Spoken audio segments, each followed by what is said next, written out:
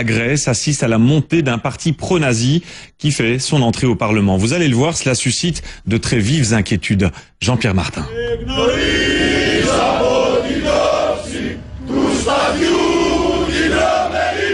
They're neo-Nazis once on the fringe of Greek politics, but no more. Golden Dawn and their anti-immigration agenda has been swept into Parliament. One of Europe's most extreme ultra-nationalist groups is set to gain 21 seats, winning an alarming 7% of the national vote.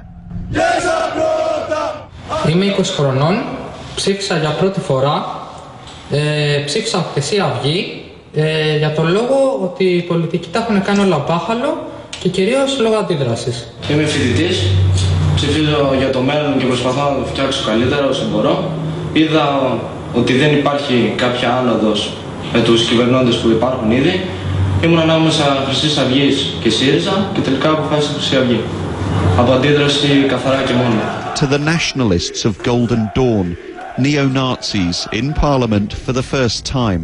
all the immigra- illegal immigration out, out of my country, out of my home. Ese es el mensaje de quien ha recogido parte de la desesperación de los griegos por la crisis y la solución europea para su país.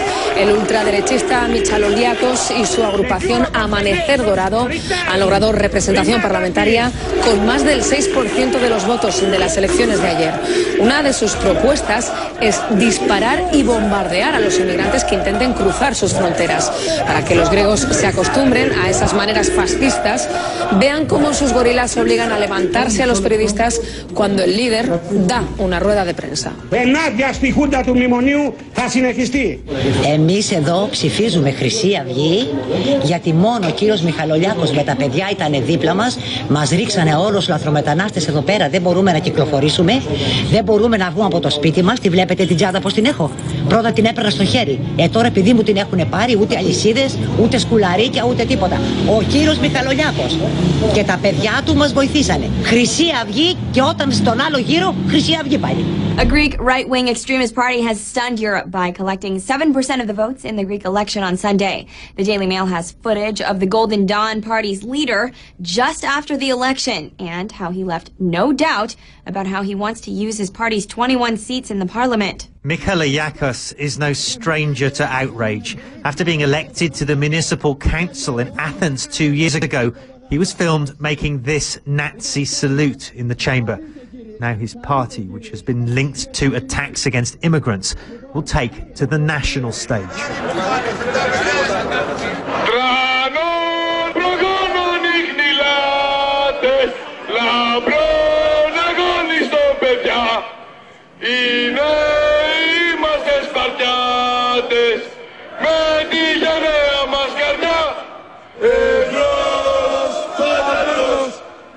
Μας οδηγεί το ελληνισμός. Εμπρός πατέρος, μας οδηγεί του ελληνισμού το φως. Σιγά πάνω! Σιγά! Σιγά! Σιγά! Τι γη! Χρυσή Αυγή! Μυστικών! Εδώ! Εδώ! Τη γη! Χρυσή Αυγή! Εδώ!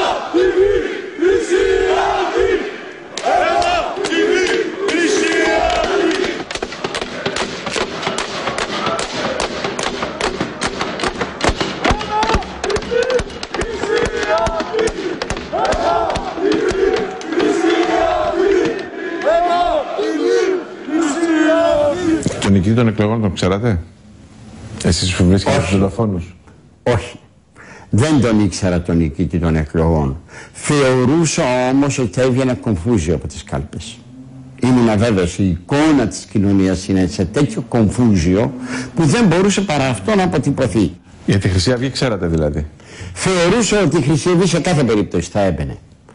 Διότι αυτή η ιστορία της ανάπτυξης της Χρυσής Αυγής δεν έγινε χθες ούτε με την προκήρυξη των εκλογών. Είναι κάτι το οποίο αναπτύσσεται τουλάχιστον, τουλάχιστον για να μην πω πολύ μακριά, τα τελευταία πέντε χρόνια. Από τη στιγμή που οι πε- οι κάτοικοι εδώ της περιοχής διαμαρτύρονταν διαρκώς για τα συμβαίνοντα στη γειτονιά και η, και η κυβέρνηση και η αντιπολίτευση δεν ανταποκρίνονταν δεν έτειναν ευήκον ούσα, το πούμε. Οι άνθρωποι βρήκαν λύση μόνο στη Χρυσή Αυγή. Έστω και αν κατέφευγε πολλές φορές σε ακραία μέσα. Τα οποία βέβαια δεν ε, υποστηρίζω.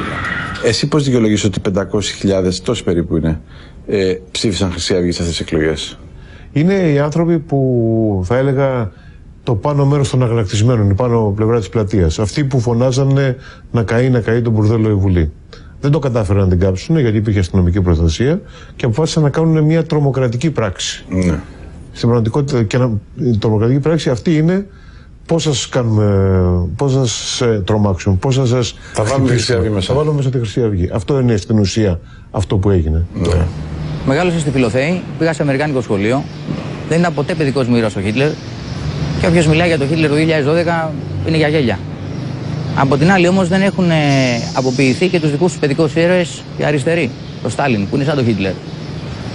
Τέλος πάντων, αν κάτι που αποκόμισα από όλη αυτή τη διαδρομή είναι ότι κατάλαβα ότι στη συνείδηση οι Έλληνες είναι αριστεροί, ονειρεύονται αμερικάνικα και έχουν χάσει εντελώς τον προσανατολισμό τους. Από εκεί και πέρα φρονώ, όσο και αν ακούγεται οξύμορο, ότι η Χρυσή Αυγή είναι το μόνο κόμμα και το μόνο κίνημα που πραγματικά είναι υπέρ των μεταναστών και των προσφύγων, γιατί ουσιαστικά υπερασπίζεται τους Έλληνες που πλέον αισθάνονται στη χώρα τους πρόσφυγες και μετανάστες. Εάν μιλήσει με κάθε δεύτερο Έλληνα θα σου πει για τους Γερμανούς θα σου πει αυτοί οι Ναζί. Και την ίδια στιγμή το 7% από αυτούς ψηφίζει ένα κόμμα που, χρη- που έχει το ναζιστικό χαιρετισμό. Αυτή είναι το, η πλήρη στολούρα. Ένα. Το δεύτερο είναι ότι αυτό το οποίο δεν συνεκτίμησαν πέραν της αδιαφορίας του μεταναστευτικού, δηλαδή τα κόμματα που κυβέρνησαν έχουν τρομερή ευθύνη για αυτό το πράγμα, δεν συνυπολόγισαν και δεν είδε κανείς με σε ένα πράγμα. Την ξέραμε τη Χρυσή Αυγή, δεν είναι καινούρια. Αλλά τι ήτανε, κάτι παιδιά μπρατσωμένα, κάτι bodybuilderάδες, οι οποίοι κατεβαίνουν σε κάποιες διαδηλώσεις, δέρνανε και εδώ και εδώ και από εκεί. Εκείνο που δεν υπολογίσαμε είναι ότι ξαφνικά η Χρυσή Αυγή άλλαξε και παίρνει την τακτική της Χαμάς. Κάνει κοινωνικό έργο. Και η τακτική της Χαμάς είναι που την ανέβασε. Οι γριούλες που πάνε στο IBM να πάρουν λεφτά. Αυτό το πήρανε και εδώ είναι μια άλλη αντίφαση. Αυτοί που κυνηγάνε όλους αυτούς τους μετανάστες που είναι Ισλάμ εποφελούνται από την τακτική των μαχητικών Ισλαμικών κινημάτων που είναι η κοινωνική διάσταση. Είναι απίστευτο αυτό που γίνεται. Και αυτό και εγώ δεν είμαι τόσο σίγουρος ότι θα εξαφανιστεί το φαινόμενο. Όταν ένα φαινόμενο αποκτά ρίζες σε κομμάτια της κοινωνίας θα μείνει. Μπορεί να πέσει το ποσοστό να μείνει τόσο ψηλό, μπορεί, αλλά θα μείνει. Εγώ δεν είμαι αισιόδοξης θα φύγει το, το φαινόμενο καθόλου.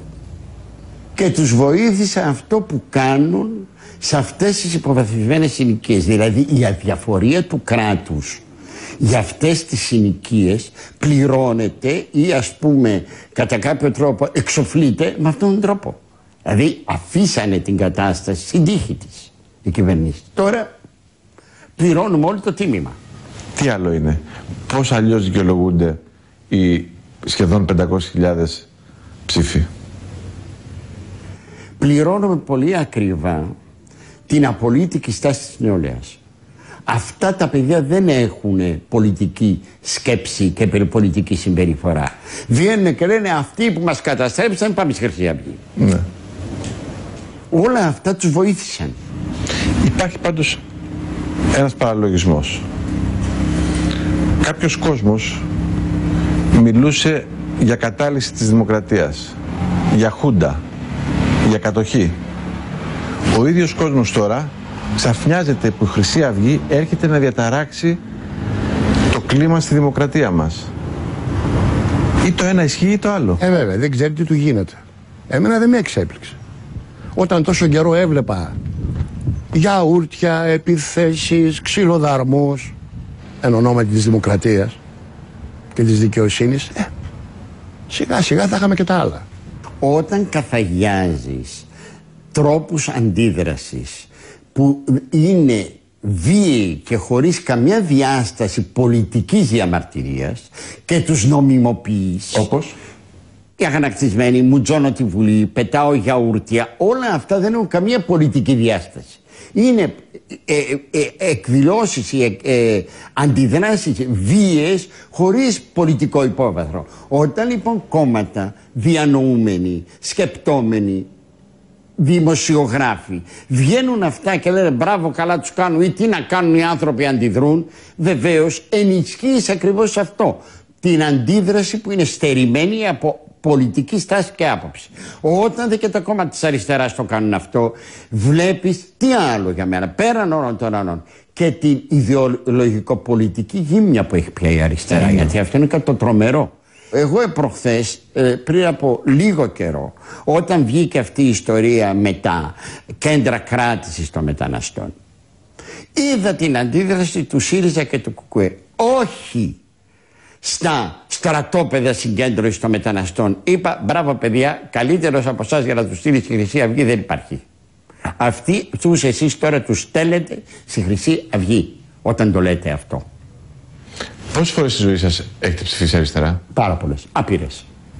Έχουμε αποτυχία των δύο μεγάλων κομμάτων σε όλα τα επίπεδα και γενικά του πολιτικού συστήματος και αυτή η αποτυχία έχει στείλει τον κόσμο στα κάγκελα. Αυτό έγινε.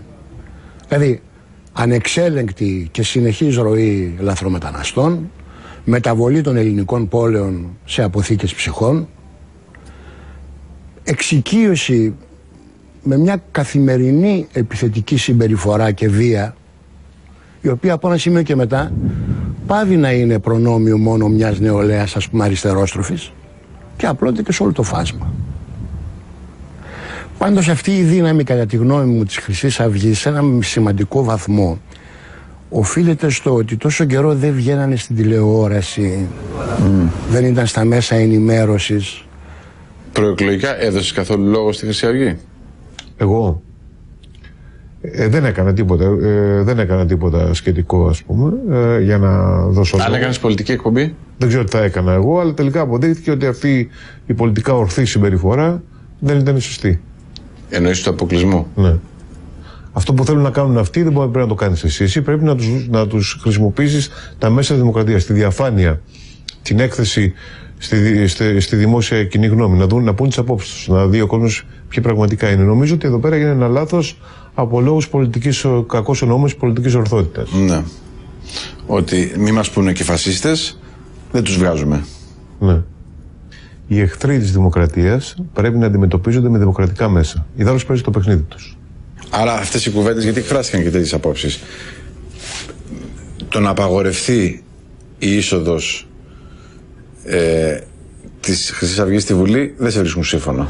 Ιδίως στις σημερινές συνθήκες θα δημιουργήσει ένα μυστήριο ε, και θα, μετα- θα ιεροποιήσει καταστάσεις στα μάτια ε, νέων ανθρώπων που είναι, χα- τα έχουν χαμένα. Δηλαδή, υπάρχουν παιδιά αυτή τη στιγμή που δε- είναι 18 χρόνων, έχουν για πρώτη φορά δικαίωμα ψήφου και ακούνε από εδώ, δεξιά, αριστερά, δεν καταλαβαίνουν είναι Χριστό, δεν μπορούν να βρουν δουλειά. Παρουσιάζεται σαν μια λύση ε, εξωσυστημική. Ε, είναι όπως παλιότερα οι κομμουνιστές. Ε, όταν ήταν εκτός συστήματος, ε, παρουσιάζεται σε μια λύση ριζοσπαστική. Η, η- δεν Είναι, είναι η απαγορευμένη του συστήματος, ας πούμε. Ναι. Ήταν αντισυστημική. Υποθέτω ότι τώρα που θα αρχίσουν να μιλάνε στη Βουλή και να βγαίνουν στα μέσα ενημέρωση θα αρχίσουν να χάνουν. Ε, διότι ισχύει εδώ Ποιος το ότι είχε πει αυτό, το εδοξάστη κρυπτόμενος. ο Γιώργος Παπανδρέου για τον Γρίβα. Ε, είναι αλήθεια ότι ε, η- το κρυφό ε, τρόπον την καλύπτει, ομορφαίνει, ενώ το εκτεθειμένο ασχημένει. να βγουν στην όψη. Να τους ξέρουμε, να τους βλέπουν και αυτοί που ψήφισαν και να ξέρουν τι ψήφισαν και ποιο μπορεί να είναι το αποτέλεσμα. Το να μην το δείχνεις, το να το κρύβεις, το να το εξαφανίζεις είναι ό,τι χειρότερο μπορείς να κάνεις. Χρυσή Αυγή. Το μόνο κόμμα που νιώθω με ασφάλεια. Νιώθω ασφάλεια σαν πολίτης. Το οικονομικό έρχεται δευτερεύον, που λένε τα οικονομικά. Αλλά την ασφάλειά μου σαν Έλληνας πολίτης θέλω. Να μπορώ να κυκλοφορήσω στη γειτονιά μου όπως παλιά. Ψηφοφόρους της Χρυσής Αυγής έχετε γνωρίσει; Αν έχω γνωρίσει, εδώ απλοί άνθρωποι πάνε και ψηφίζουν. Παιδιά νέα που τα ξέρω. Μου λέει, μου λέει χτες το βράδυ ένα παλικάρι, μου λέει: Εγώ την ψήφισα τη Χρυσή Αυγή. Έμεινε εγώ γιατί τον ξέρω σε χρόνια το παιδί. Του λέω: Καλά, είσαι νέος άνθρωπος, ρε παιδί μου. Είσαι ε, ένας άνθρωπος ο οποίος βγάλει πανεπιστήμιο. Πώς πας και ψηφίσεις η Χρυσή Αυγή. Μου λέει έτσι, για να δουν αυτοί πώς εκφράζεται η περιφρόνηση. Άντε να του βρεις, να του εξηγήσεις τώρα ότι αυτό δεν είναι τρόπος να δείξεις την περιφρόνησή σου.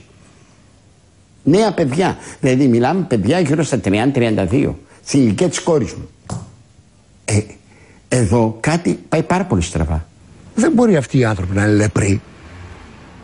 Δεν είναι κάτι άλλο. Είναι άνθρωποι που βρίσκονται σε απόγνωση, είναι άνθρωποι οι οποίοι θέλουν να τιμωρήσουν. Υπάρχει ένα τέτοιος κόσμος, είναι δίπλα μας. Η Χρυσή Αυγή έκανε χρυσές δουλειές στην πλατεία στον Άγιο Παντελεήμονα. Χρυσές δουλειές. Όταν λέμε χρυσές δουλειές έδιωξε όλους τους μαύρους. Οι οποίοι είχαν πλημμυρίσει ακόμα και στη δική μου πολυκατοικία ήταν γεμάτοι και φύγανε. Αυτοί που ήταν οι βρωμεροί που είχαν όλα τα, όλες τις αρρώστιες φύγανε. Φύγανε γιατί έπρεπε να φύγουνε.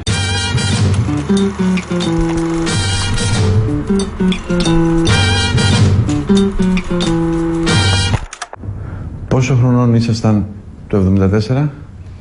17, δεν τα είχα κλείσει. Είχατε σχέση τότε με το καθεστώς; Όχι βέβαια, τι σχέση θα ήταν δυνατόν να έχω; Ήμουν μαθητής της 5ης γυμνασίου ή της Δευτέρας Λυκείου. Καλός μαθητής τουλάχιστον. Μπήκαμε την πρώτη στο μαθηματικό Αθηνών και μπορείτε να βρείτε και πολλούς συμμαθητές μου. Ένας από αυτούς, μάλιστα, ένα αγαπημένος μου φίλος, ο οποίος είναι καθηγητής πανεπιστημίου στη Δανία, ο οποίος είναι μέλος του ΚΚΕ και μου λέει ότι αν δεν ήμουν 30 χρόνια μέλος θα σε ψήφιζα και παραμένει ακόμη αγαπημένος μου φίλος.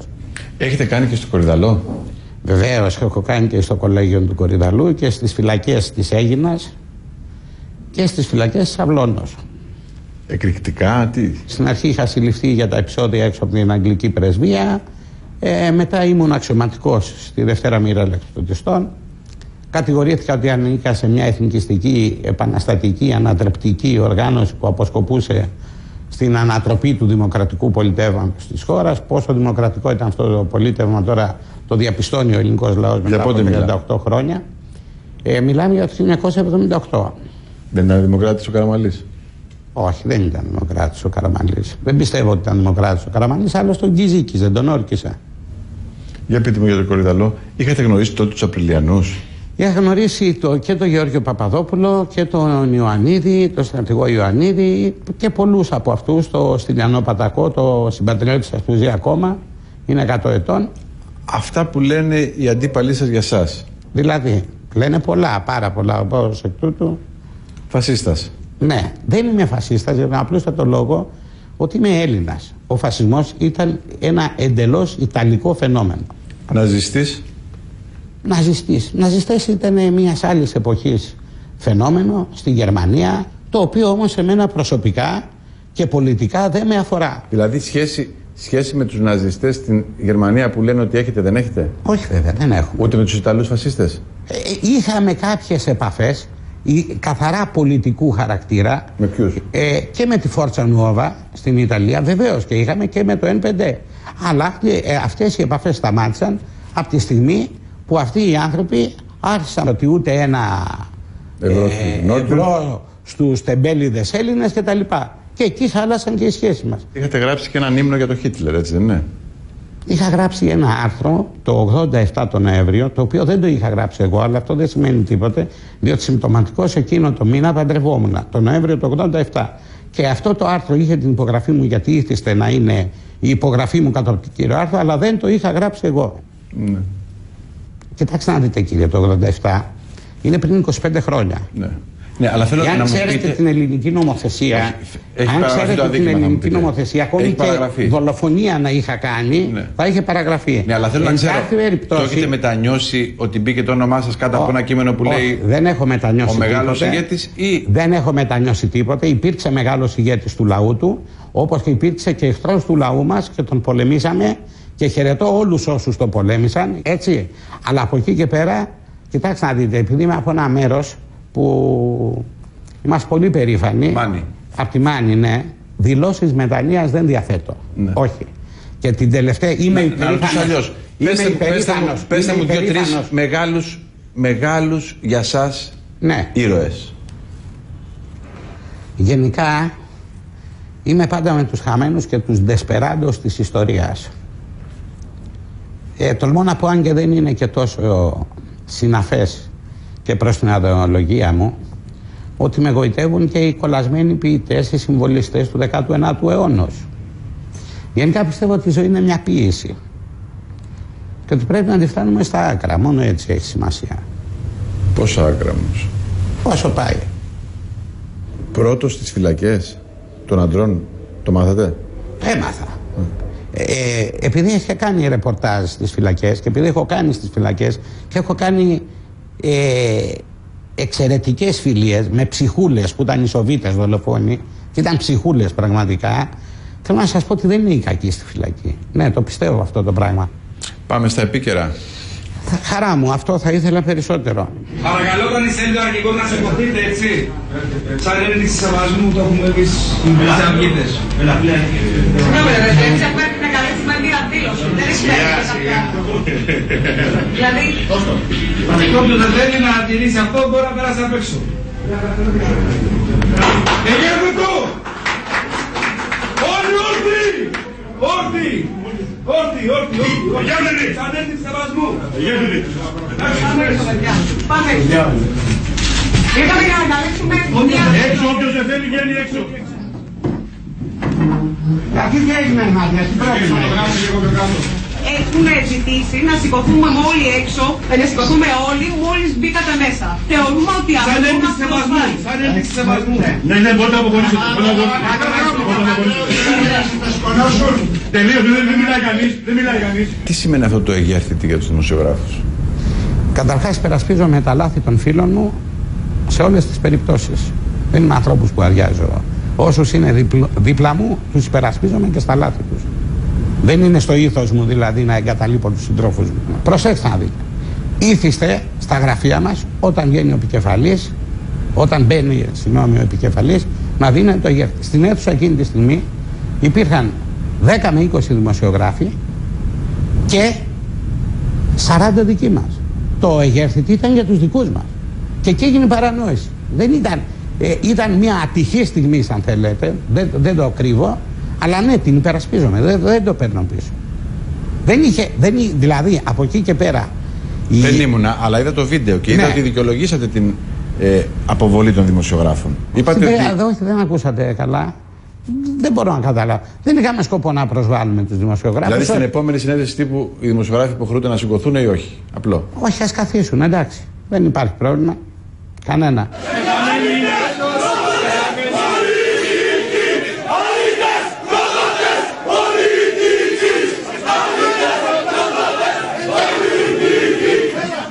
Μη μου πείτε ότι και το ποτήρι μπύρας που πέταξε ο υποψήφιος στον ευθυμίου δεν ήταν. Από ό,τι ξέρω ήταν Ποτήρι. νερό. Βέβαια, Όχι, θα, η ενώ το τηλεόραση κάνει σκεύος, ενώ θαύματα. το σκεύος στο φιλμ είναι ένα, Δεν το αυτό- έχω δει. ένα από αυτά τα μεγάλα Δεν σας διαψεύδω. ποτήρια ε, Δεν- μπύρας. Δεν, δεν σας διαψεύδω. Οι πληροφορίες που έχω εγώ ήταν ότι είναι νερό. Και στο κάτω-κάτω της γραφής α, ο κύριος Ευθυμίου τι έχει να φοβηθεί; Έβαζε βόμβες, λίγο νεράκι, τον φόβησε. Ο ίδιος το έχει δηλώσει με τα παρησία σε συνέντευξη ότι έχει εκπαιδευτεί στα όπλα και στα εκρηκτικά. Τι, τι, Άλλο, τι άλλο. παιχνίδι είναι αυτό; Άλλο, αυτό μου άλλο η θυμίζει- βία αυτό ως μου θυμίζει- απάντηση σε ένα Α- αντιδημοκρατικό αυτό- καθεστώς και Ω, άλλο τι η βία λέτε, σε ένα δημοκρατικό αγαπητέ, καθεστώς. τι- Σοβαρός. Ναι. Όταν μοιράζουμε Συγγνώμη, το στο πόλεμο, χατζιαβάτι. στο πόλεμο θα ασκήσεις βία. Σε μια χούντα θα ασκήσεις βία. Έτσι, Σε ε. ένα παιχνίδι δημοκρατίας δεν θα ασκήσεις βία. Δεν το σέβεσαι αυτό; Όχι, δεν το σέβαμε. Να σας πω κάτι. Από τις βόμβες που έβαζαν επί Χούντας δεν είχαν σκοτωθεί άνθρωποι. Στο άγαλμα του Τρούμαν και σκοτωθεί μια κοπέλα. Ήταν καλή βία αυτή εκεί. Και ένας απλός αστιφύλακας. Τι έγινε εκεί, οι μάγκες; Καλό. Η βία του Λένιν ήταν καλή. Με το 2% που πήρε την εξουσία. Η δική μου άποψη. Όχι, έγινε η, η, η επικρατούσα άποψη είναι ότι ήταν καλή. Εγώ είμαι ενάντια σε κάθε μορφή βίας. τότε- Εξαιρώ όμως τη τότε- βία. τότε εξαιρώ μπορείτε τη να βία. πάρετε ένα πορτοκαλί μάνα. Εξαιρώ τη βία Μπορεί- για να προστατεύσει κάποιος τον εαυτό Ναι, του. μπορείτε να πάρετε- Και εξαιρώ τη βία όταν έχεις να πολεμήσεις ένα Καθεστώς, Οι άνθρωποι- κατοχής, οι άνθρωποι- δικτατορία, κοιτάξτε να ε, δείτε. ξένο. Όλα είναι θέματα ερμηνείας. Αυτό που εννοείτε εσείς, Χούντα, κάποιοι το θεωρούσαν νόμιμο καθεστώς. Ναι. Υπάρχει ένα όριο. Οι εκλογές και η δημοκρατία. Ο άνθρωπος, ο οποίος είναι πράγματι κατά της βίας, φοράει ένα πορτοκαλί μανδύα, βάζει και κουδουνάκια στους αστραγάλους του για να μην πατάει τα μυρμήγκια και είναι ειρηνιστής για να μην επιβαρύνει την ψυχή του. Να σας πω κάτι, και ίσως το κόψετε. Μάλλον, μάλλον θα το κόψετε. Είμαι σίγουρος ότι θα το κόψετε. Το ξέρετε την παραμονή των εκλογών. Ξυλοκοπήθηκε άγρια υποψήφιος της Χρυσής Αυγής ηλικίας 83 ετών, καθηγητής πανεπιστημίου. Και δεν έδωσα διάσταση επίτηδες στο θέμα. Για να μην οξύνω τα πνεύματα. Πίσω σας είναι μια σημαία την οποία τη βλέπετε σκισμένη και γεμάτη παρούτη. Είναι από τη βόμβα η οποία μπήκε στα γραφεία μας, καταστράφησαν ολοσχερό στα γραφεία μας, ανέλαβαν την ευθύνη οι επαναστατικοί πυρήνες. Λοιπόν, η βία είναι μια πραγματικότητα της ζωής. Εμείς δεν έχουμε την αφέλεια να πιστεύουμε ότι δια της βίας θα επιτύχουμε τους πολιτικούς μας στο, σκοπούς. Εάν ήμασταν αξιωματικοί και είχαμε κάποιες τεθωρακισμένες μεραρχίες ή κάποιες οποίες, θα μπορούσαμε ίσως να το σκεφτούμε αυτό το πράγμα. Συγγνώμη. Ε, όλα αυτά που βλέπουμε με μέλη της Χρυσής Αυγής να χρησιμοποιούν βία δεν είναι εικόνες που έχετε δει κι εσείς, δεν τις ξέρετε; Η βία... Ε, δεν είναι πράκτορες θα αυτοί, δικοί πρέπει- σας είναι. Όχι, ναι, θα πρέπει όμως να ξέρετε ότι έχουμε δεχτεί επιθέσεις και έχουμε απαντήσει. Όταν δέχεσαι επιθέσεις, με συγχωρείτε, όταν δέχεσαι... Δηλαδή όλα αυτά, όταν τα μπράτσα, δέχεσαι επιθέσεις, όλα αυτά τα μπράτσα που βλέπω ότι σας περιτριγυρίζουν και στις Ναι. συνεντεύξεις τύπου κτλ. Ναι, ναι. Είναι αυτό ότι πρέπει να αμυνθείτε δηλαδή Όχι, σε αυτόν που θα μπει; Τους αρέσει αυτό το πράγμα. Υπάρχουν πολλοί άνθρωποι που είναι, έχουν υπηρετήσει ειδικές δυνάμεις, οι οποίοι φροντίζουν τον εαυτό τους, γυμνάζονται. Όχι, δεν είναι κακό αυτό. Δεν λέω, είναι κακό αυτό. όχι, λέω νομίζω. το να σας περιβάλλουν αυτοί οι άνθρωποι είναι μια συνθήκη Είναι πε- άμυνας. Λοιπόν, ε, δεν υπάρχει περίπτωση εγώ για λόγους πολιτικούς να δεχτώ τον εξευτελισμό μου. Ε, εμένα, εάν μου πετάξουν ένα ποτήρι νερό, θα τους πετάξω κι εγώ ένα μπουκάλι στο κεφάλι. Ναι. Το λέω. Εντάξει.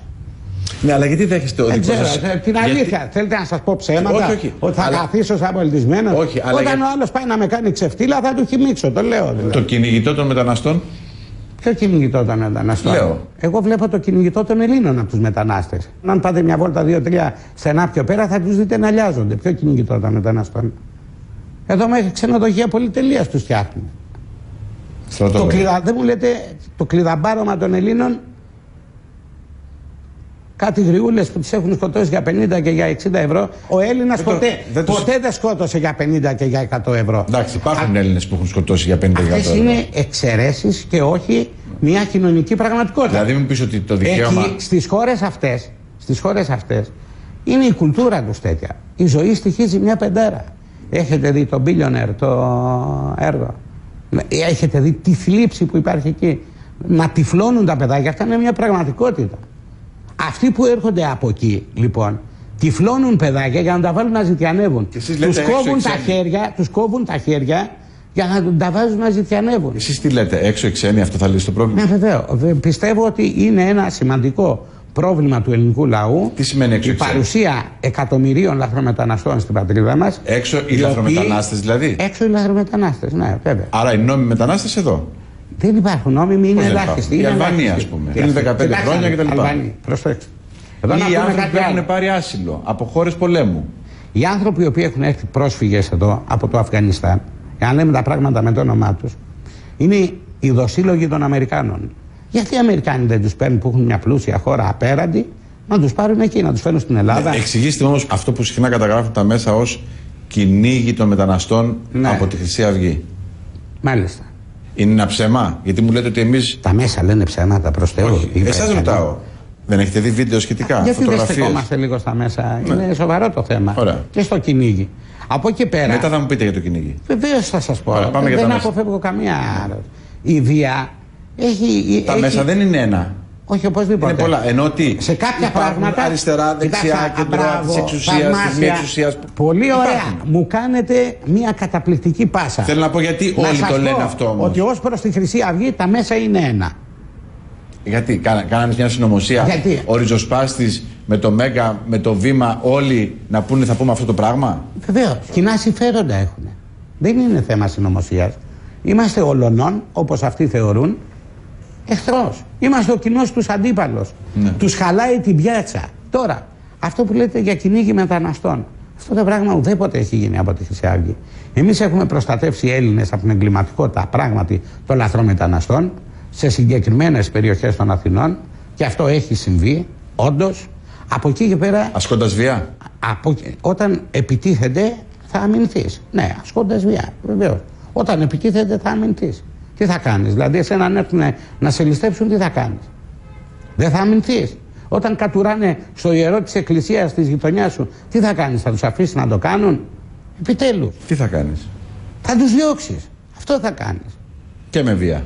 Και με, με πώς θα τους διώξεις; Θα πεις, Σας παρακαλώ κύριε Πακιστανέ, μην κατουράτε στο ιερό της εκκλησίας. Δεν κάνει.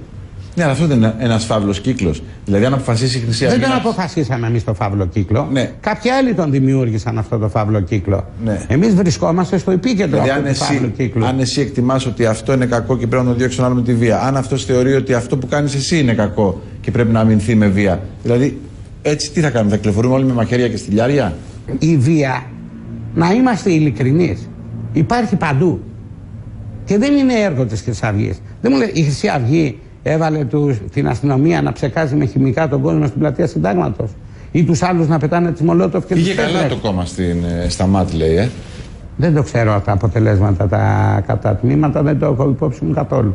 Εμείς έχουμε συγκρουστεί κατά Κεσαριανή. καιρούς με τα ΜΑΤ, ε, εμποδιστήκαμε. Αυτά που λένε ότι συνεργάζεστε με την αστυνομία. Σταθείτε με λίγο, τη μην ΜΑΤ, ξεφύγουμε. Να μιλήσουμε για τη βία. Είναι μια πραγματικότητα η βία. Δεν ευθύνεται η Χρυσή Αυγή. Όταν η Χρυσή Αυγή αναλάβει την δημόσια τάξη αυτής της χώρας, σας εγγυώμαι ότι δεν θα υπάρξει βία.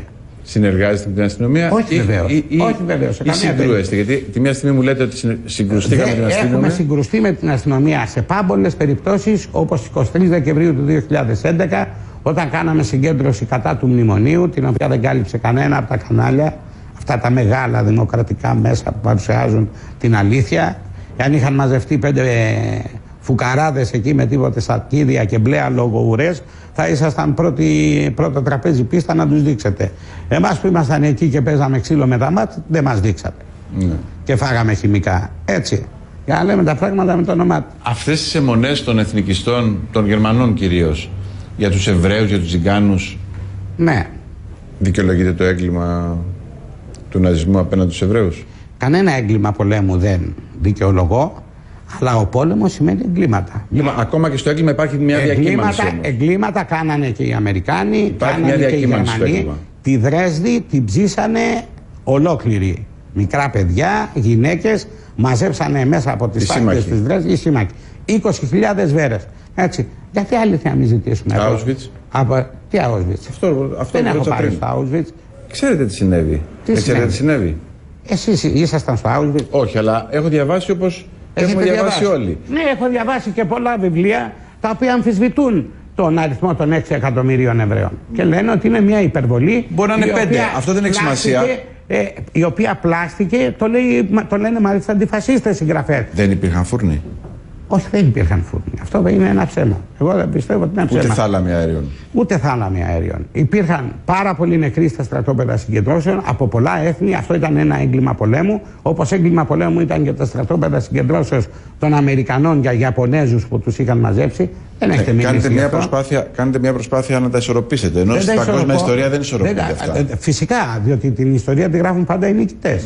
Δείχνετε μια πολύ μεγάλη ευαισθησία για τα εγκλήματα των ναζιστών, ενώ για τα υπόλοιπα εγκλήματα που έχουν συμβεί στους Ναι. ιστορικούς χρόνους έχετε μια απόλυτη βεβαιότητα. δηλαδή είναι σαν να κλείνετε το μάτι προς τον ναζισμό και προς τους Τρεις Γερμανούς. λαλούν και ένα χορεύει. Γιατί το λες; Ξεφεύγετε, γλιστράτε σαν χέρι. Εσείς το κάνετε αυτό. Αυτορούνται Να σας μια- πω, αυτός που γεννιέται στην Ελλάδα. Ναι, Που γεννιέται στην Ελλάδα και παίρνει ελληνική παιδεία. ναι. Δεν είναι Έλληνας. Αυτό πώς, από πού, πού το βασίζεται; Το είπε ο Στεφανόπουλος, ας πούμε. Ο Στεφανόπουλος δεν είχε διαβάσει καλά τον Ισοκράτη. Εσείς αρνείστε ότι κάποιος που γεννιέται στην Ελλάδα Ναι. και πηγαίνει στο ελληνικό σχολείο. Ναι. Έτσι. Μετέχει δηλαδή της ελληνικής παιδεία. Ότι είναι Έλληνας; Όχι, για μένα αυτό δεν αποτελεί τεκμήριο. Ε, αποτελεί Εξετάσεις τεκμήριο, DNA? ε, αποτε- όχι εξετάσει DNA, το αν είναι Έλληνας στο αίμα και στην καταγωγή και στη συνείδηση. Τι σημαίνει αυτό; Να Άλλη είναι. μια γενιά πίσω; Κάποια στιγμή ίσως ήρθε. και δύο, ίσως και τρεις. Ναι. Ναι, αυτό πιστεύω. Η μια το γενιά. δικαιούμαι. Η μια γενιά. Ναι, το δικαιούμαι. Άρα τα παιδιά μου λένε. Εάν αυτό σημαίνει ότι είμαι ρατσιστής, κανένα πρόβλημα. Όχι, λέω. Να το πείτε αυτό στους Έλληνες του Καναδά. ή τους Έλληνες Αυστραλίας. Εκεί είναι άλλος ο νόμος. Ο Καναδάς και η Αυστραλία είναι δύο χώρες που φτιάχτηκαν από επιδρομής και αυτό που θέλω είναι να μην καταντήσουμε εμείς οι Έλληνες όπως κατάντησαν οι ηθαγενείς της Αυστραλίας και του Καναδά. Ναι. Και στους Γερμανούς Έλληνες, θα Ναι. το πείτε τότε. Βεβαίως Γιατί και οι και το- Γερμανοί βεβαίως Έλληνες και το λέω, μετά ναι. από μερικά χρόνια παραμονής γίνονται, γίνονται και Γερμανοί πολίτες. Ναι, γίνονται Γερμανοί πολίτες, αλλά εγώ δεν πιστεύω αυτό το πράγμα. Ωραία. Αυτή είναι δηλαδή η δική μου τοποθέτηση και Ομοφυλόφιλοι. επιλογή. Τι ομοφυλόφιλοι. Υπάρχει κάποιο ειδικό μένος σε αυτό ή είναι. Τι ειδικό μένος να Δεν υπάρχει. ξέρω. Στους ρωτάω. ομοφυλόφιλους. Οι ομοφυλόφιλοι είναι μια, ε, ένα μέρος ελληνικής κοινωνία, δεν το θεωρώ φυσιολογικό. Παγίδα είναι το ερώτημα. Είμαι Έχω πολύ πιάσει άνετος. τον κατάλογο Λοιπόν. του γερμανικού ναζισμού και Ναι, λέω θέλω να δω ωραία. τις διαφορές. Θα σου το πω πιασάρικα κιόλας. Δεν θα ήμουν υπερήφανο αν ήμουν αδελφοί. Ναι. Τι άλλο να σου πω, στα είπα όλα. Δεν με απαντάτε σε αυτό όμως. Αν ένας ομοφυλόφιλος μπορεί να είναι μέλος τη Χρυσής Αυγής; Φανερά να είναι ομοφυλόφιλος και να είναι μέλος τη Χρυσής Αυγής, όχι. Τι μας μας ενδιαφέρει το, το να μην είναι φανερά, μπορεί να είναι κρυφά δηλαδή; Εάν δεν το ξέρουμε πώς; Α, αυτό εννοείται. Φίλε, ε, τι να γίνουμε. Όχι, εννοώ. Τι να κάνουμε δηλαδή, εννοώ, όχι, όχι, εξετάσεις, ε, όχι. Λέω, πώς, ε, εδώ πάτε να κάνουμε εξετάσεις αίματος για να δούμε αν Δεν είμαστε είναι Έλληνες. εξετάσεις αίματος. Να εξετάσουμε τους γονείς των γονέων. Ναι, αν είναι Έλληνες στην καταγωγή. Ναι, θέλουμε Έλληνες. Έλληνες που να έχουν ένα παππούλι που να έχει πολεμήσει το 40, να έχει πολεμήσει το 40 να έχει έναν αδελφό του παππού του να έχει πέσει στον Πιζάνι όπως έχει πέσει εμένα. Υπηρετήσατε στον ελληνικό στρατό, έτσι δεν είναι; Στο σύνορο. Στα σύνορα. Έβγαισα και συγχαρητήρια. Διδημότυχο. Ε, διδημότυχο. Υπέροχα. Τώρα στη Βουλή θα ορκιστείτε κανονικά στο Ευαγγέλιο, έτσι; Δεν ορκίστηκα στο Δημοτικό Συμβούλιο στο Ευαγγέλιο.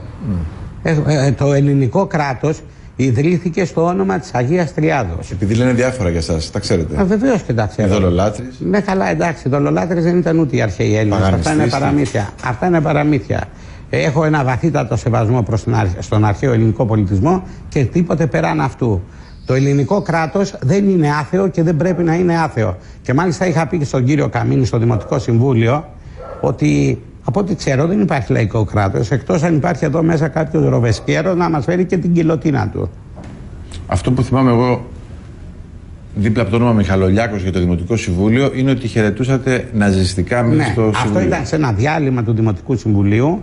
Αυτό με προκάλεσε ο κύριος Κωνσταντίνου, άρχισε να ουρλιάζει είναι φασίστας, είναι φασίστας και του απήντησα κατά αυτόν τον τρόπο. Αστερισμός ο δηλαδή. χαιρετισμός αυτός δεν είναι ναζιστικός. Αυτός Σας ο έχω δει όμω να χαιρετισμός- χαιρετάτε έτσι. Όχι, να χαιρετάω κατά αυτόν τον τρόπο, όχι.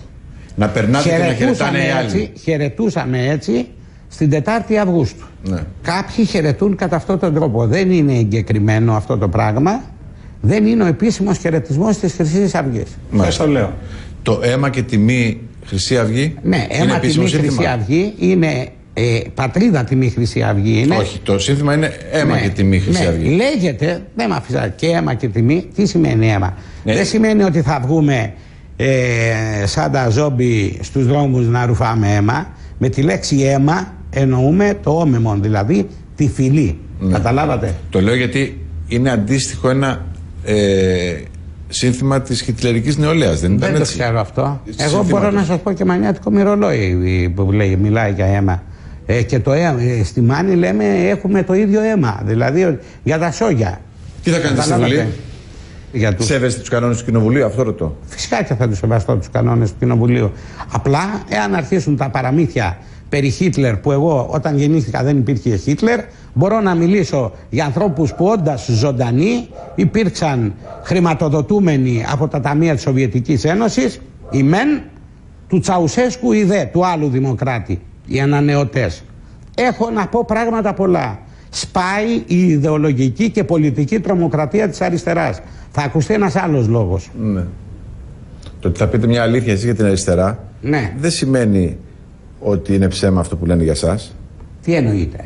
Δηλαδή μου λέτε αν πούνε για τον Χίτλερ. Δεν, είναι- δεν μου, εγώ δεν πήρα ποτέ χρήματα από τον Χίτλερ. Ξαναγυρνάτε σε αυτό. Έχετε πει, τον έχετε πει μεγάλο άντρα του 20ου αιώνα. Δεν πήρα μάρκα, κύριε Θοδωράκη. Εγώ αυτοί πήρανε με δολάρια από τη Μόσχα. Υψώνουμε το δεξί χέρι και κραυγάζουμε Χάιλ Χίτλερ. Αυτό δεν είναι ισχύει κείμενο. αυτό το πράγμα, δεν ισχύει. Σας Όχι, το έχω ισχύει πει. σε κείμενο της Χρυσής Δεν- Αυγής δεν- 1987. Δεν, δεν ισχύει αυτό το πράγμα. Δεν ισχύει αυτό το πράγμα. Και εν διάφορε περιπτώσει. Δεν ισχύει. Σημασία είναι αν το πιστεύετε. Εγώ δεν θέλω. Ναι, εάν ισχύει το όποιος 87. θέλει, ας πιστεύει ό,τι θέλει. Εσείς το πιστεύετε; Πιστεύω ότι υπήρξε μια μεγάλη ιστορική προσωπικότητα του 20ου αιώνα. Αλλά δεν λέτε Το Χάιλ πιστεύω. Χίτλερ. Φυσικά και δεν λέω Χάιλ Χίτλερ για τον απλούστατο λόγο ότι Χάιλ λες για κάποιον που είναι ζωντανός. Αφού είναι πεθαμένος, τι θα πεις, Χάιλ. Είναι αλήθεια ότι αρκετοί από τους βουλευτές σας πλέον Ναι. έχουν εγκρεμότητες με τη δικαιοσύνη; Όχι, Για- τίποτε σοβαρό. ενώ- Υπάρχει μια ψευδομαρτυρία ότι ε, χτύπησαν κάποιον και ήταν αυτός κοντά και του πήραν την ταυτότητα. Αυτό εννοούν οι ληστεία. Για να, το, για να γίνω πιο συγκεκριμένος. Αποκηρύσετε μερικά πράγματα από τη δράση της Χρυσής Αυγής.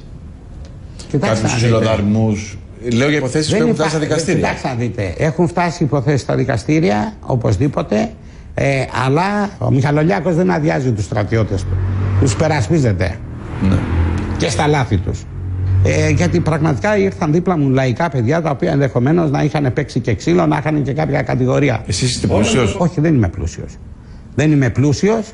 Δεν είμαι κάτοχο, κάτοχος κανενός ακινήτου που είναι ροζ ξενοδοχείο που έγραψαν κτλ. Ναι, αυτό ήθελα να σας ρωτήσω για το βεβαίως και να με ξενοδοχείο αυτό ρωτήσετε. που έχετε. Δεν καταλάβατε. Δεν υπάρχει ξενοδοχείο. Υπάρχει ένα κίνητο που ήταν του πεθερού μου, ο οποίος έχει πεθάνει προ 15 ετών και ο οποίος το είχε νοικιάσει σε κάποιους Έλληνες βορειοϊπηρώτε και έχει η γυναίκα μου το 15% των μετοχών.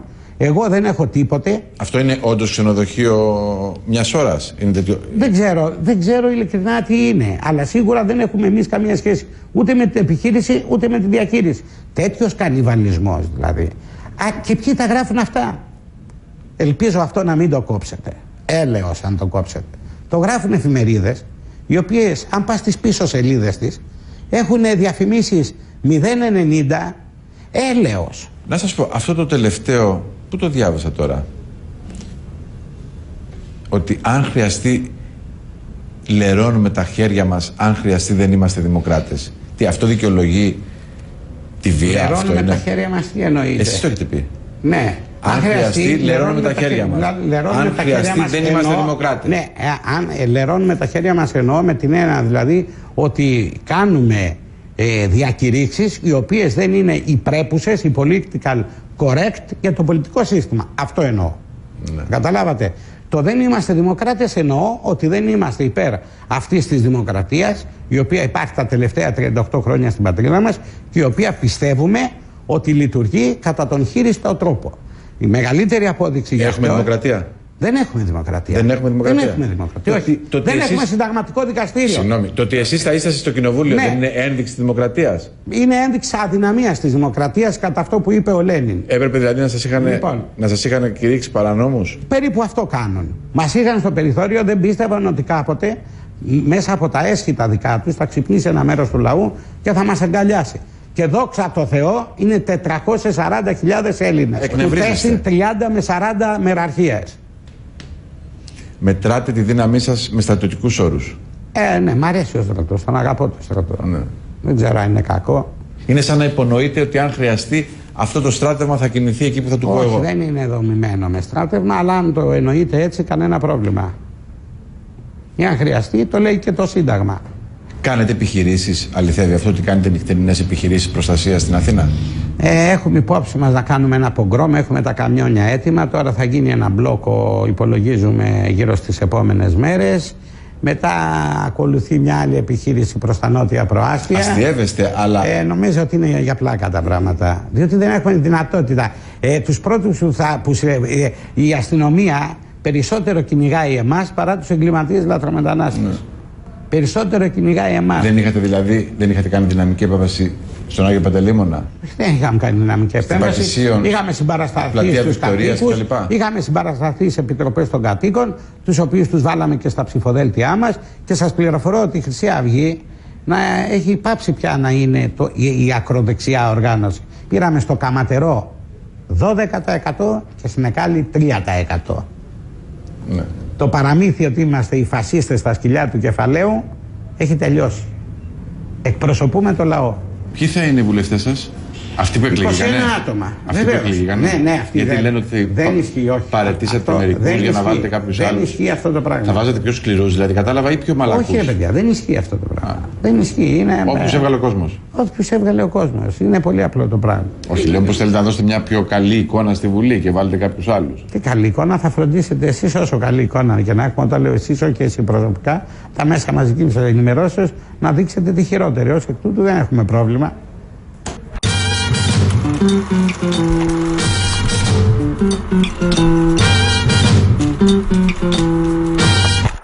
Για κάνουμε το χάρτη το νεοναζί στην Ευρώπη από την εμπειρία σου, από τα ρεπορτάζ σου. Στην Ισπανία η, η ακροδεξιά έχει και λόγω του Φράγκο, λόγω του φραγκισμού, έχει ρίζες και σε ε, υψηλά στρώματα κοινωνικά, δηλαδή δικηγόρους, επιχειρηματίες, φοιτητές της νομικής, αλλά βεβαίως και σε στρώματα όπως είναι οι, ε, οι χούλιγκαν, το, οι οπαδοί της Ρεάλ Μαδρίτης κυρίως, αλλά όχι μόνο, και της Μπαρτσελώνα οι οποίοι στην πραγματικότητα χρηματοδοτούνται από την έμεσα από τη Real Madrid. Τους δίνει δηλαδή ειστήρια δωρεάν, τα οποία πουλάνε αυτοί και έτσι υπάρχει ε, μια ε, επιχειρηματική δραστηριότητα την οποία αποστηρίζουν εμέσως πάλι και ορισμένοι παίχτες της Real Madrid, πολύ γνωστοί. Ο Καστίγιας, ο Ραούλ, ε, ε, παλιότερα ο Φίγκο. Τώρα υπάρχει ένας Ισπανός δημοσιογράφος, ο οποίος κυκλοφορεί πλέον με μάσκα, Αυτός που είχε εισχωρήσει στις ναζιστικές οργανώσεις. ο οποίος είχε σχολήσει στις ναζιστικές οργανώσεις, ε, το έκανε συνέντευξη με μάσκα και μάλιστα ζήτησε και ένα ειδικό μηχάνημα για να αλλοιώ- αλλοιώνει η φωνή του. Τον κυνηγάνε. Έχει, βγάλει, έχει γίνει η ζωή του ταινία, έχει βγάλει ένα βιβλίο μεγάλη επιτυχία, ο οποίος για ένα χρόνο υποδίθηκε τον νεοναζί και μπήκε μέσα στους κύκλους. Ε, μου είπε ότι χρησιμοποιούν το διαδίκτυο πάρα πολύ και μου είπε ότι υπάρχουν χιλιάδες ε, νεαροί που θέλουν να δείξουν ότι είναι μάγκες ας πούμε, σαν τον Μπρέιβικ και να ανατινάξουν και κτίρια ή να σκοτώσουν όπως έκανε ο Μπρέιβικ και απλώς ο Μπρέιβικ κατάφερε να το κάνει γιατί δεν μπόρεσε να τον εμποδίσει η αστυνομία. Φαίνεται δηλαδή όταν τελειώσει η ευμάρεια, Ναι. τότε αρχίζουν και βγαίνουν άγρια πράγματα από μέσα μας. Σε αυτό το σημείο είμαστε. Εδώ είμαστε, ναι. Και δεν ξέρω αν μπορούμε να γλιτώσουμε από αυτό. Μπορούμε μόνο να αμυνθούμε βέβαια. Και αυτό πρέπει να κάνουμε. Εσύ έχεις πιστεί ότι ένα μέρος της βίας στην Αθήνα είναι προϊόν αυτών των οργανώσεων; Όχι, δεν θα έλεγα κάτι τέτοιο. Ε, η βία εναντίον των μεταναστών είναι προϊόν αυτών των οργανώσεων. Ναι. Η γενικό, το γενικότερο κλίμα βίας ε, Αφορά και άλλες τροφοδοτείται, ναι, και αφορά και άλλες ομάδες. Έχω ένα κουμπί. Το πατάω και εξαφανίζεται και η Χρυσή Αυγή και ο Μιχαλολιάκος. Θα σταματήσει η βία; Όχι. Θα σταματήσει ο υφέρπον φασισμός της ελληνικής κοινωνίας; Όχι. Τίποτα παρά θα έπρεπε να συμβεί. Όταν υπάρχει αυτή η κατάσταση θα κληθεί κάποια άλλη ομάδα, κάποιο άλλο μόρφωμα να καλύψει το κενό. Έτσι είναι τα πράγματα. Το να πιστεύεις ότι με το να εξού και αυτή η λογική της δημοκρατίας, το να το εξαφανίσει είναι χειρότερο. Όσο κακό και αν είναι αυτό, η εξαφάνιση είναι χειρότερη γιατί το ένα καλό έχει αυτή η ιστορία. Πήγαινε συνόψη. Αυτά, ξέρεις, είναι παιδιά κατά τη γνώμη μου φοβισμένα. Φόβος είναι το βασικό τους χαρακτηριστικό. Δεν μιλάω για το φόβος σαν κάτι που έρχεται και παρέρχεται, όπως σε όλους μας. Δεν ξέρω βέβαια κόσμο από εκεί. Έχω γνωρίσει όμως σε άλλες περιπτώσεις παιδιά έτσι στο στρατό ας πούμε που ο φόβος είναι μόνιμο συνέστημα τυλιγμένο μάλιστα με μία άβρα στην οποία καταφεύγουν όπως οι νυχτερίδες στο σκοτάδι. Έχω γνωρίσει παιδιά τέτοια τα οποία έχουν τσαλαπατηθεί, έχουν πιει φαρμάκια δηλαδή στη ζωή τους. Στη Χούντα ε, είχαμε στο ΕΑΤΕΣΑ φαντάρια βασανιστές. Πώς έγινε αυτό το πράγμα; Είναι τσαλαπατημένα παιδιά. Η κρίση πιστεύεις ότι θα πολλαπλασιάσει τέτοια φαινόμενα. Σίγουρα ναι. Ε, όσο καιρό η Μέρκελ και οι υπόλοιποι ολιγάρχες της Ευρώπης έχουν επιβάλει μια τέτοια πολιτική, αυτή η πολιτική ενισχύει ακραίες καταστάσεις. Δεν είναι μια απλούστηση όμως. Δηλαδή η κρίση κάνει τα παιδιά μας νεοναζί. Όχι, όχι, δεν λέω κάτι τέτοιο. Ε, λέω ότι η κρίση ε, τροφοδοτεί ακραίες συμπεριφορές. Τώρα από εκεί και πέρα μπορεί να γίνουν ένα μπορεί και να μην γίνουν. Πάνε με τη βία. Ε, τώρα αν υπάρχει και κοινωνική κρίση, αυτό γίνεται πιο εύκολο. Αν βρει δουλειά, κανείς τώρα δεν θα πάει να βαράει μελωστού, ας πούμε. Όταν έχεις δουλειά, κάνεις άλλα πράγματα. Πας στη δουλειά σου, ε, μετά έχεις και μια κοπέλα, βγαίνετε μαζί και Όταν ε, δεν, ε, δεν έχεις δουλειά ή είναι όλα υπό, με το φόβο αυτό ότι θα τα χάσεις όλα αυτά τα πράγματα, τότε αλλιώς γίνεται. Η φτώχεια δεν σε κάνει χρυσαυγήτη. Όχι. Γιατί αν ήταν να είναι έτσι τα πράγματα, τότε με συγχωρείτε, αλλά στον καιρό που ήμασταν πιο φτωχοί θα είχαμε 10 χρυσές αυγές. Δεν είναι έτσι ακριβώς το πρόβλημα. Δεν σε κάνει φτώχεια. Σε κάνει όμως η ανασφάλεια, που είναι τρομερά μεγάλο πρόβλημα, σε κάνει ο, η, η έλλειψη προοπτικής που δεν σου τη δίνει κανείς, σε οδηγεί η οργή, το μίσος και η απελπισία και βεβαίως όλα αυτά ενισχύουν αυτό το ακραίο κομμάτι προς τα δεξιά. Υπάρχει κόσμος που τρέφει συνολικό μίσος για την πολιτική και λέει Πού είσαι Παπαδόπουλε; Υπάρχει κόσμο. Βέβαια, το ξέρω. Αρκεί να πάρετε ταξί, παίρνω εγώ. Να μην κρυβόμαστε. Αρκεί να πάρετε ταξί, σας λέω. Παίρνω εγώ. Ωραία. Έναν Παπαδόπουλο θέλουμε, σου λέει ο άλλος. Ε, βέβαια, καμιά φορά το ακούω. Από άνθρωπο στραμμένο προς το κενό. Μη απευθυνόμενο δηλαδή συγκεκριμένα έτσι. Τι σας λέει ο κόσμος, τι σας έλεγε μάλλον ο κόσμος προεκλογικά; Ε, νιόνιο βγες, πες, εσύ, τι εγώ, 70 χρονών, σηκώσω τη σημαία. Και τι θα έλεγα δηλαδή.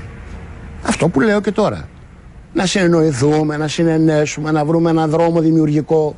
Ναι, όταν κάποιοι πολιτικοί στα πλαίσια του αντιπολιτευτικού τους καθήκοντος μιλούν για κατοχή της χώρας και για δικτατορία και για χούντα, τότε η Χρυσή Αυγή μπορεί να μιλάει για βίαιες ενέργειες. Όταν εγώ είδα το πανό των αγανακτισμένων, η Χούντα του 73 δεν τελείωσε. Που είναι και λάθος. Μέσα μου είπα, ρε παιδί μου, αν τώρα σας κατέβαζαν τα τάγκς, οι μισοί θα τρέχατε να σωθείτε και οι άλλοι θα ήσασταν σαν μπουντρούμι και θα σας βασανίσανε. Χούντα, έχετε καταλάβει τι σημαίνει. Ε, όχι, δεν έχουμε Χούντα. Αλλά αυτό που έχουμε είναι πολύ άρρωστο. Είμαστε άρρωστοι. Όλοι όσοι μιλάμε και θέλουμε να εκφραζόμαστε και προσέχουμε τις λέξεις μας στο διάλογο ή στην έκφρασή μας δεν είμαστε τίποτε σπασίκλες ή τίποτε φλόροι.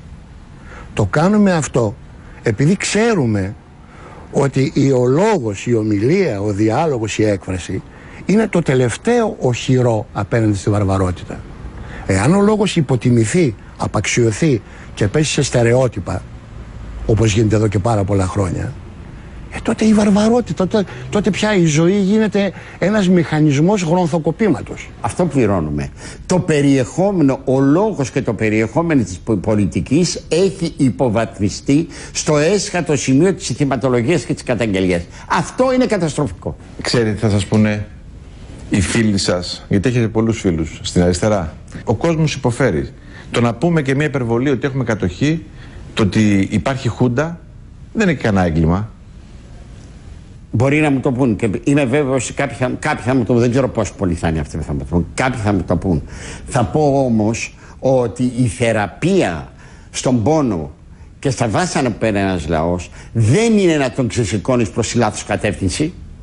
Διότι δεν είναι αυτή η λύση σου.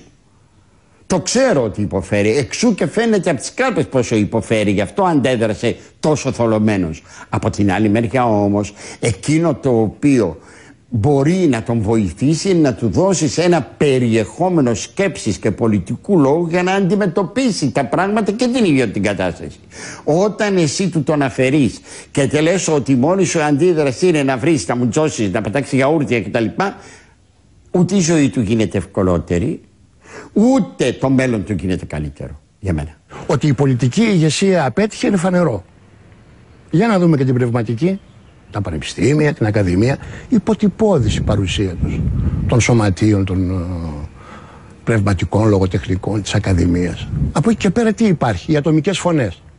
Ε, στην πλειονότητά τους όμως οι ατομικές φωνές ακολουθούσαν μια προοδευτική ύλα για να εισπράξουν παλαμάκια. Βεβαίως υπήρχαν εξαιρέσεις. Ποιο τις άκουγε. Αχ. Βεβαίως κάποια στιγμή πολλοί από αυτούς που ψηφίσαν ιδιαίτερα θα ξυπνήσουν και θα πούν. Εγώ λέω, όταν ψηφίζεις ή σκοτώνεις, επειδή είμαστε συγγραφέα αστυνομικό, εμβρασμό ψυχής, κάποια σημειοδράση βγαίνει από το βρασμό ψυχής και λέει: Πω, πω, πω, τι έκανε, κακιά ώρα ήταν, δεν ήθελα να το κάνω, μετανιώνω.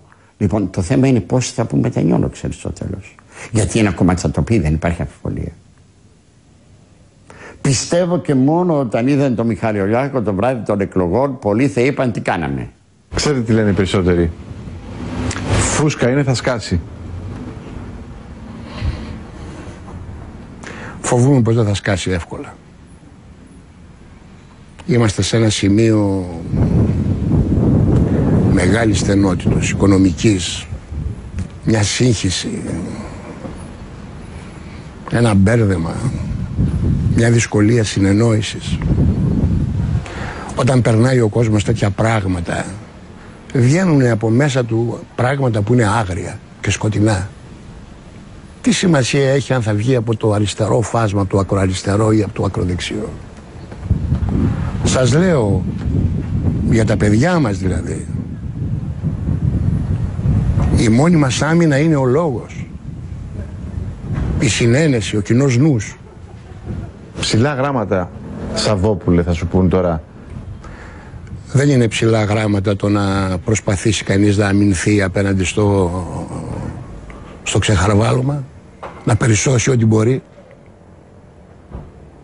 Τι να κάνουμε δηλαδή, να αρχίσουμε να δαρνόμαστε;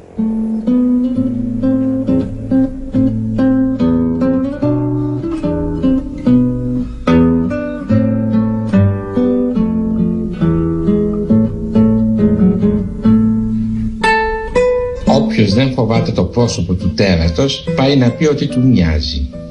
Και η πιθανή προέκταση του αξιώματος είναι να συνηθίσουμε τη φρίκη να μας τρομάζει η ομορφιά.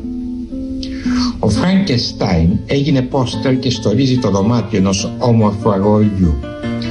Από την ώρα που ο Φραγκεστάιν γίνεται στόρισμα νεανικού δωματίου, ο κόσμος προχωράει μαθηματικά στην εκμυδένισή του. Γιατί δεν είναι που σταμάτησε να φοβάται, αλλά γιατί συνήθισε να φοβάται. Thank you.